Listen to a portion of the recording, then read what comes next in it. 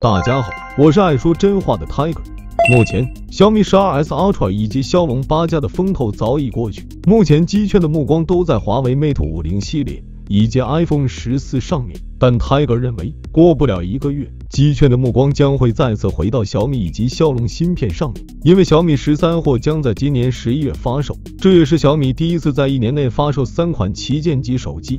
目前，除了小米十三或首发搭载骁龙八 Gen 二之外，Tiger 了解到最新的消息是，小米十三系列的部分产品很可能会采用陶瓷作为机身材质。这或许是小米在继小米 Mix 四之后，再一次使用陶瓷作为机身。陶瓷是小米高端手机的经典，这个经典培养出了一代又一代陶瓷机身的爱好者。陶瓷机身手感圆润，有着十分精致的外观，再加上耐摔耐滑，备受消费者喜爱。但由于陶瓷机身的制造工艺，相较于玻璃工艺来说还比较新。生产流程没有完善，因此良品率低，成本便控制不了。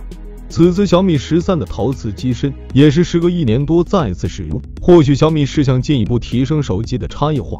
除了最新的爆料，小米十三最令人期待的更新将会是骁龙即将发布的处理器——骁龙八 Gen 二。据 Tiger 了解到，高通下一代旗舰处理器骁龙八 Gen 二已经在路上。受苹果秋季发布会的冲击，骁龙的发布会将会提前到十一月份发布。从目前的爆料来看，骁龙八 Gen 二的升级还是可圈可点，其采用的是 N 四 P 工艺，也可以叫做四纳米加制程工艺，功耗应该会比上代更强。在 CPU 方面，采用全新的一加二加二加三八核心架构设计，这也是业内首次采用这一架构设计的处理器，其中超大核升级为 Cortex X。三性能提升了百分之二十二，大核升级为 Cortex A 七幺五，性能提升了百分之五，能效提升了百分之二十，小核依旧是 Cortex A 五幺零。据悉，骁龙八 Gen 二的单线程性能最多有百分之十五的提升，多线程性能理论性能或将实现百分之二十至百分之二十五的提升。不过，这只是理论上的数据，实际表现还得看真机。Tiger 仍记得骁龙八八八发布前夕，大家都在说该芯片的性能有多么的好，然而实际表现却惨不忍睹。在 GPU 图形处理器方面，骁龙八 Gen 二会升级到 Adreno 七百四十，这或许会成为骁龙八 Gen 二最大的看点。谣传峰值性能将提高百分之五十，持续性能会提升百分之三十二。除了处理器的爆料之外，截止目前，新机的爆料不算太多。综合目前的爆料消息，基本都集中在屏幕以及续航方面。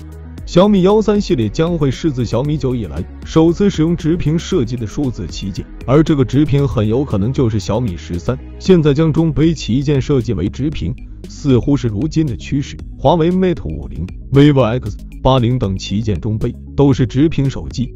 综合爆料消息，小米十三将会搭载六点三六英寸 LED 柔性直屏，分辨率为一点五 K，而 Pro 版本将会搭载来自三星最新的两 K 超窄边框一六第二代 LTPO 屏。这一代一六屏幕将首次支持低亮度高频 PWM 调光。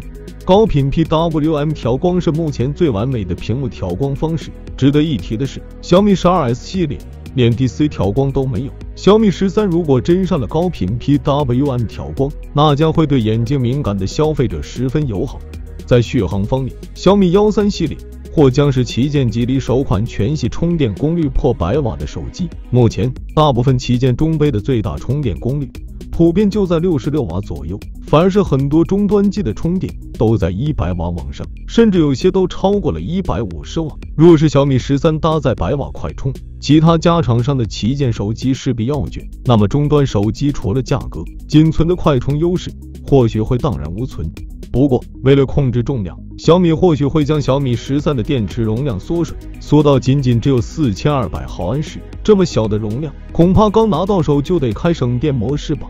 最后一点也是 Tiger 最不确信的一点，那便是小米十三的镜头模组。以目前 Tiger 看到的来说，小米十三仍然修改了镜头模组，将小米十二与小米十二 S 的竖排矩形更改为了类似正方形的设计，看起来并没有小米十二 S 那么精致，也不如小米十二 S Ultra 那么大气。想了解更多关于小米十三的内容，请关注 Tiger，Tiger 将会给你带来最新的资讯。好了，以上就是本期内容，欢迎您在评论区交流。